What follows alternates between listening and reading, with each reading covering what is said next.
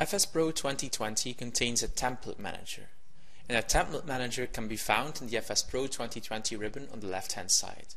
Simply go to New Document, drop down menu, and there you have Template Manager. Now the Template Manager contains 22 business document templates that you can use to create consistency within a team of writers or within an organization.